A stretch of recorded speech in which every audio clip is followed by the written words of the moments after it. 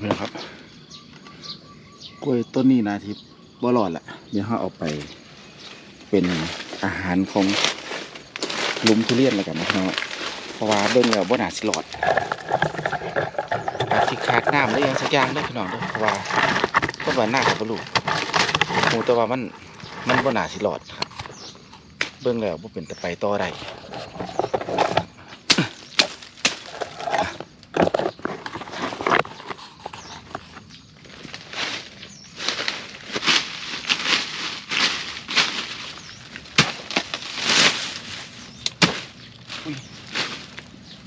นี่จะเขาปวด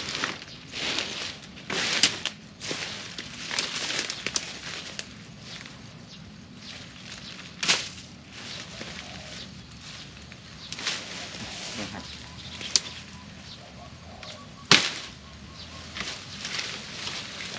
นี่ก็จะเป็นอาหารป่าโอ้ยอยู่ในน้ำ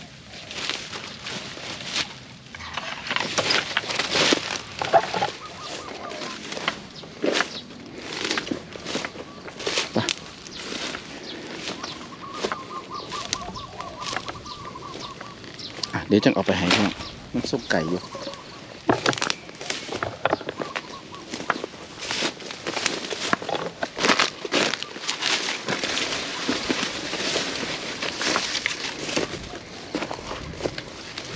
กล้วยก็กำลังแพร่พี่น้องครับ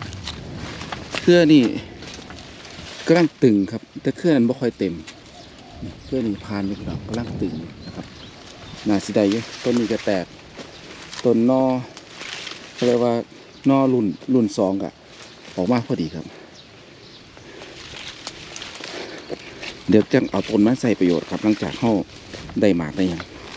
จะมือนี้เอาต้นนี้ไปก่อน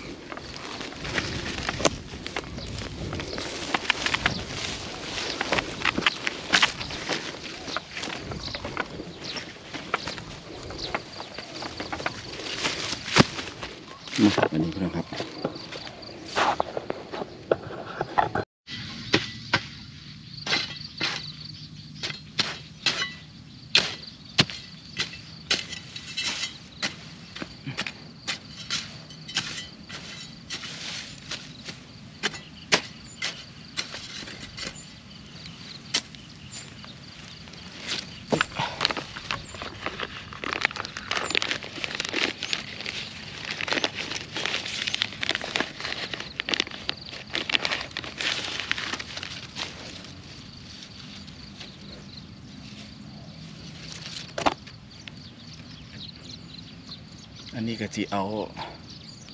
หันหนามาทางนี้พี่น้องครับว่าแสงแดดแหลกทางนี้เนาะกะเทียงมากที่ไหมอะเปลี่ยนเปลี่ยนทางเอาทางนี้ลงมานะครับ อันนี้แดดแหลกให้มันเป็นดึงหาแดดแหลกแล้วครับโอเค ที่นี่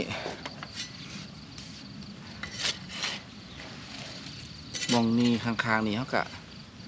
เอาไส้ที่เป็น ต้นกล้วยนี่น้องครับ เบิ้งแล้วขนาดหนาสิประมาณนี้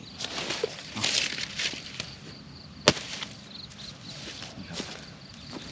หนึ่งทอนเนาะอุ๊บ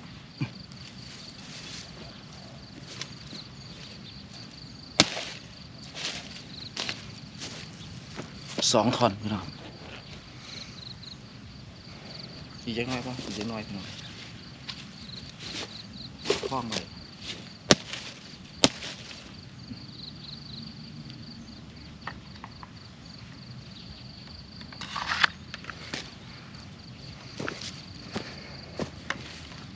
แล้วคนบ้านหน้าได้กล้วยคุ้มอ้อมเพิ่นไว้เลยเด้พี่น้องกะตรงกลาง เหมือนมันบ่ลึกปานใดเนาะเพราะว่าถ้าถมก็ติดสิบ่เป็นไรพี่น้องครับลองเบิ่งคนบ้านหน้าบ่รู้นะครับก็อยากปลูกลองเบิ่งครับ อันนี้คือได้แล้วนะครับสำหรับลุมแรกเป็นเอากล้วยเป็นพี่เลี้ยง เป็นโตเขาเรียกว่าเป็นโตน้ำเลี้ยงนะครับ ไว้แล้วก็เอาคุ้นกบอีกรอบหนึงเนาะเอาฟุ้นตัวจะมีกบไป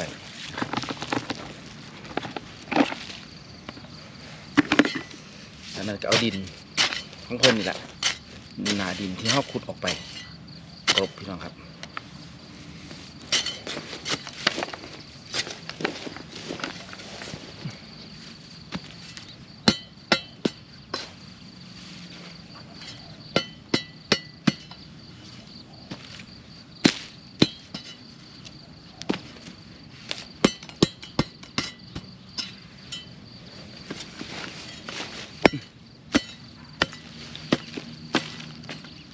เรียบร้อยแล้วครับ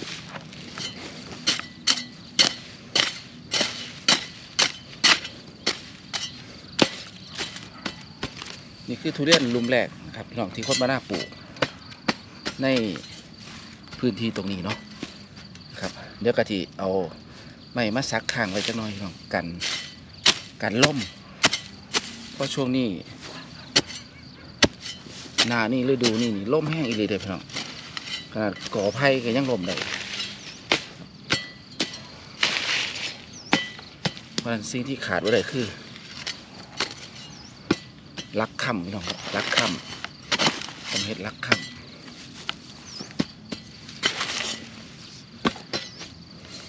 อ่าเพิ่นขึ้นมากก็จะมีต้นบกฮุง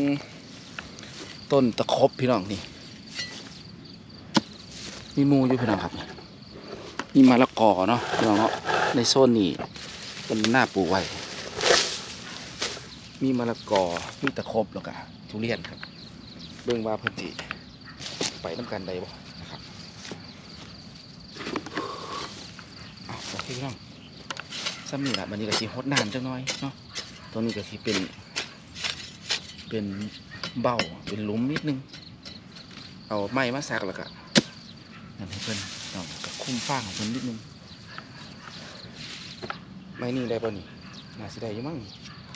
ลองได้อยู่หรอกเนาะเพราะว่าไม้ก็อยู่นี่ละอึ๊บอะได้อยู่พี่น้องครับ ให้เพิ่นเป็นไม้คำอยู่แถวนี้ก่อน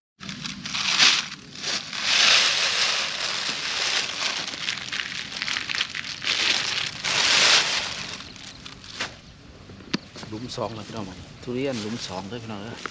นะครับแล้วก็เอาบุนตัวนี้ลงว่างเลยพี่น้องนี่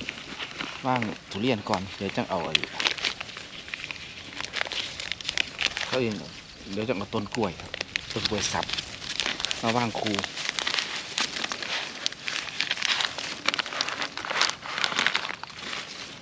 มึงพี่น้องครับเพิ่นกะแท่งหักเลยเด้เหลือแต่สิบไปต่อพี่น้องเหลือแต่ที่เพิ่นที่ไปต่อวันนี้อ้วยไปทางไหนพี่น้องให้เพิ่นใหญ่อ้วยมาทางนี้เนาะรับแดดเศร้าคันรับแดดเศร้าเขาก็ต้องอ้วยออกพี่น้องครับอืม อะอ้วยออกนิดนึงนะครับ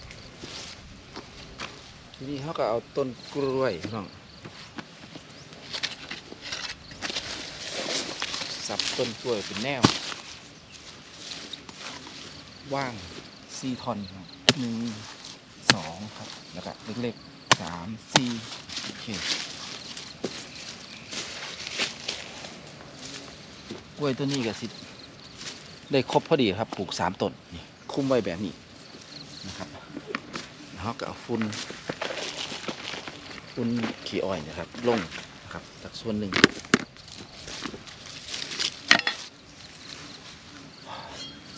เสร็จแล้วก็กบเลยพี่น้องครับ จากดินที่เราก้นออกมาเมื่อกี้นี่แหละนะครับทับไปทับข้าวโพดหมดแล้ว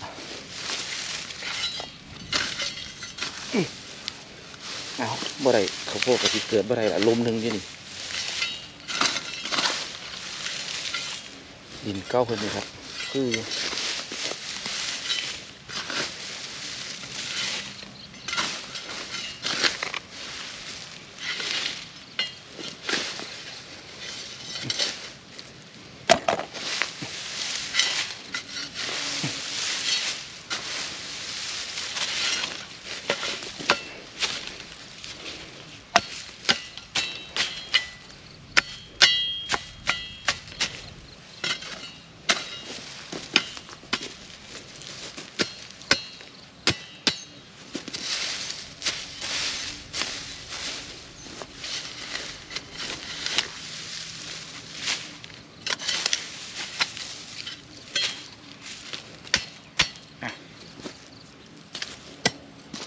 ลุมแล้วน้องต่อไป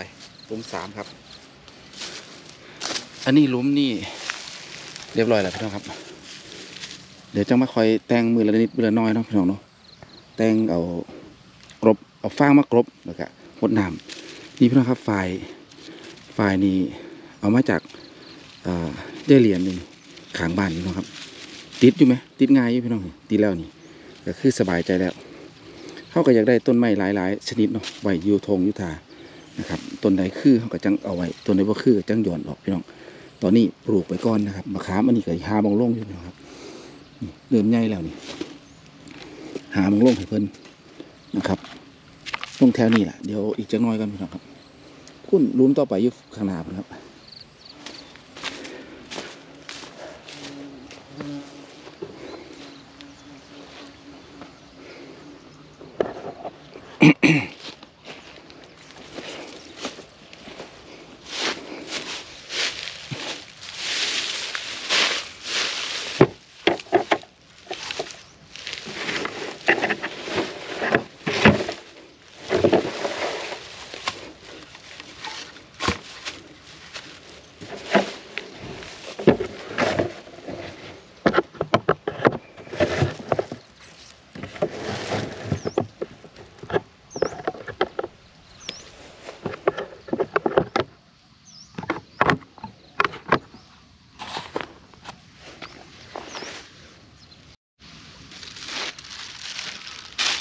โอเคครับเป็นที่สามหลุมสุดท้ายแล้วสำหรับเสาหนึ่งนะครับต้นบานหน้านี่สามต้นนี่ทุเรียนด้วยสามต้นนะครับอันนี้ลุมสุดท้ายแล้ว เดี๋ยวก็จะไปปลูกฟักทองยู่นอู้พี่น้องครับดูอยู่ต่อไม้เก้าเออต่อไม้เก้าพี่น้องเพราะว่าช่วงนี้ช่วงปลูกพี่น้องหนาหนาวนี่ช่วงปลูก ปลูกไปเลยนะครับ อันพืชทนแรงทั้งหลายเลยนะครับเขาปลูกไปก่อน บางอันก็กินได้แน่กินบ่ได้แน่กะว่ามันสาระน้องครับหลักๆคนมาน่าอยากได้พืชที่มันใหญ่ได้ตามฤดูกาลเนาะพืชท้องถิ่นสิหรือว่าต่างถิ่นกันแล้วแต่อันนี้ต่างถิ่นแหละพี่น้องครับตัวเอทุเรียนถือว่าตั้งที่น จากล่องปูเบิ้งนี่นะครับ เพราะว่า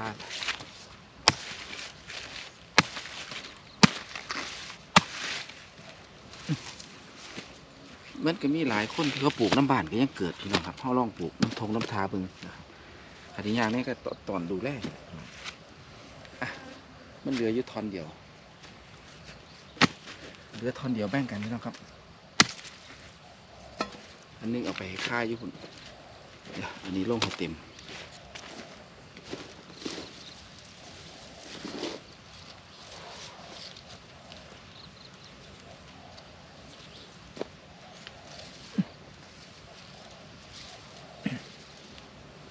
ลิกไป อะลองได้แบบนี้แล้วฮะกะกรบฟุ้นนิดนึงเนาะพี่น้องเนาะครับ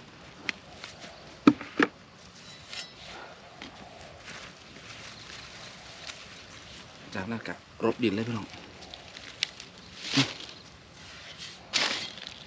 ดินก็เอาดินยึกเก้ามันนี่แหละครบลูกนึง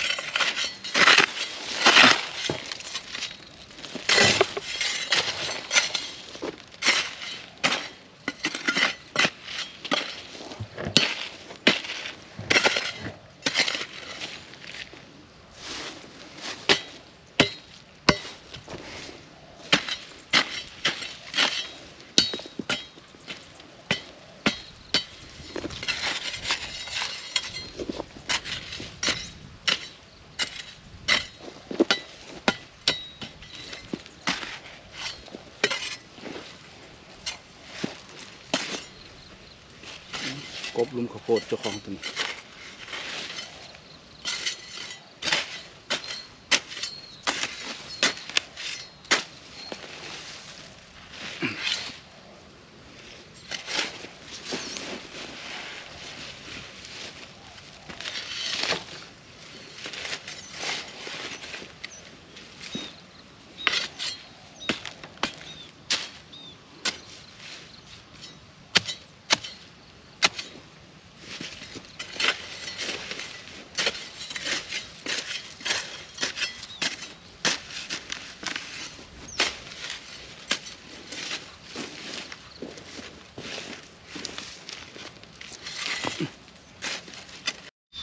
เรียบร้อยครับนะครับ เดี๋ยวจะเอาฟางมากบแล้วก็หดน้ำกันนะครับ ตรงนี้ก็ลุมลุมที่สามแล้วพี่น้องครับ เสร็จแล้วสามลุมแหล้วถือว่าภารกิจมันครบแล้วก็เหลือที่ค่าพี่น้องครับ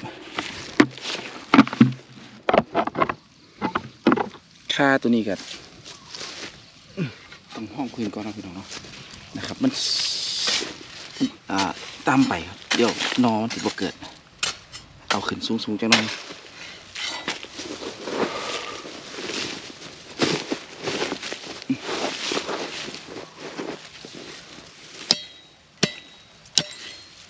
พี่น้องเอาประมาณนี้ข้างล่างเพิ่นกระซิมีไอ้เมื่อกี้ก็คือนอกล้วยเนาะที่คนมาหน้าเอามา ครับนอกล้วยก็มาเป็นพี่เลี้ยงซ้ำเฮาหดน้ำได้หน่อย นะครับในช่วงนี้อันนี้ต้องดินแตกๆคุยๆจังหน่อยครับมันจังสิแตกนอดีเดี๋ยวเอาดินทางหน้าซอยจังหน่อยครับครับ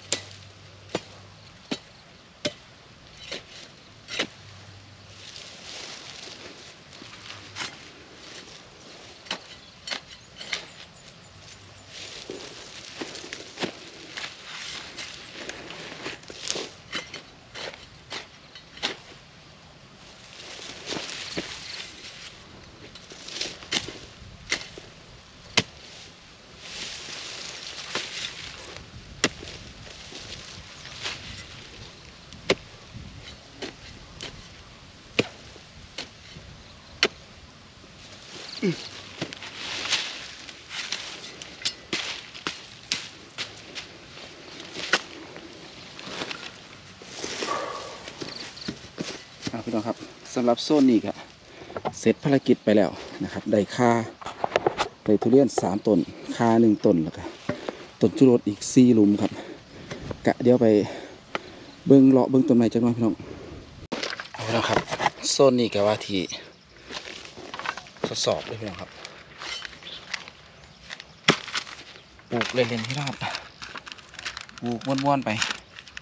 นะครับอันนี้เป็นแตงโมครับพี่น้องครับ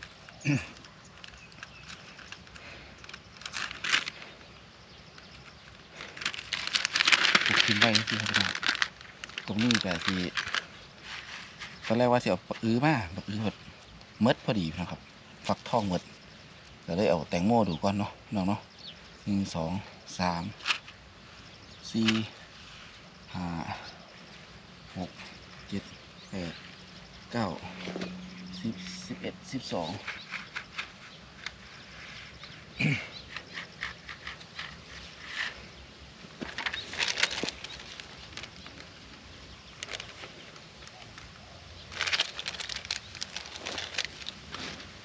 ลองเบิ่งนะครับปลูกไว้จักสิบสิบก็เมล็ด เบิ่งว่าเพิ่นได้เกิดให้เฮาบ่ได้พี่น้องเด้อนะครับ อันนี้ก็เอามือแย่ลงแล้วเนาะพี่น้องเนาะเอาเม็ดไปใส่ละทิ้งไม่ดีแล้วพี่น้องอื้อมามันลืมอย่างเราลืม ใส่กุระดานใส่นิดนึงกันทีหลังเพราะว่าแง่แง่แง่งแง่ลืมไปว่าใส่ตรงนี้แม่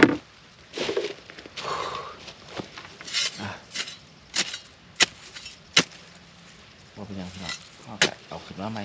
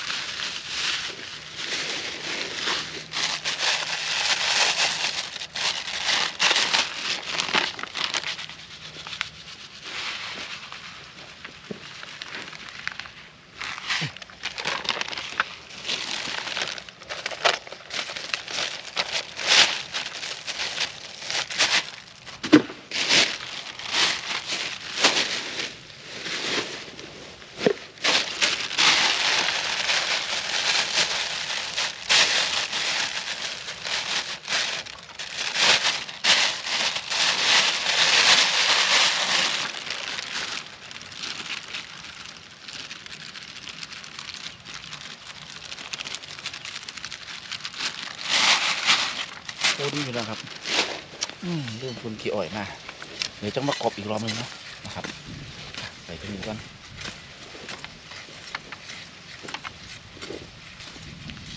เรียบร้อยนะครับ เม็ดแตงโมกับซีอยู่นี่แหละไม่รู้ว่ายุ่ลุกยุ่ตื่นเด้อเดี๋ยวจะมาลุ่นเบิ่งกันว่าเพิ่นจะเกิดในเฮาบ่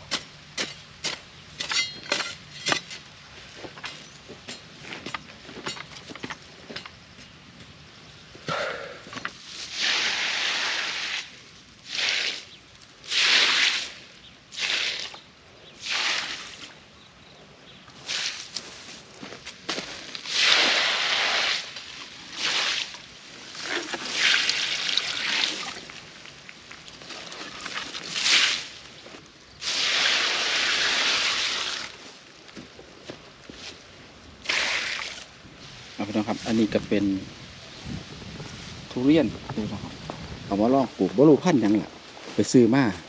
หอนว่าหูพันธุ์พี่น้องเริ่มถามพันธุ์เพิ่นเดี๋ยวสิกลับไปถามม่อยู่สองต้นครับพี่น้องครับปลูกทดสอบพี่น้องครับ ต้นมะนาวกับบ่เคยปลูกแล้วอีกอย่างนึงโซนนี้ทางโล่งนี่ลักๆต้นมะนาวจะเป็นพื้นที่ต้นไม้ที่บ่บ่สูงมากนักเด้อพี่น้องนะครับอันนี้ทุเรียนกันก็บ่ปานใดดอกพี่น้องครับบ่ได้สูงครับครับ คือต้นไม้ทุกอย่างมันสามารถตัดแต่งได้อยู่แล้วเนาะน้องเนาะครับอะสำหรับคลิปนี้นะครับเสาร์นี้คนมาหน้ากะเอาไว้ซ้ำนี้เด้อพี่น้องเด้อเดี๋ยวพอกันไม่ในคลิปต่อไปเพราะว่าอ่าพยายามที่มาแตะเสาแล้วก็ให้เขาบ้านแบบบ่สวยจนเกินไปเนาะพี่น้องครับ หลายที่ผ่านมากอะออกมาแปดโมงก็จริงแต่ว่ากับเขาบ้านกับแปรเทียงเมื้อนี้ก็คนมาหน้าออกมาประมาณหกโมง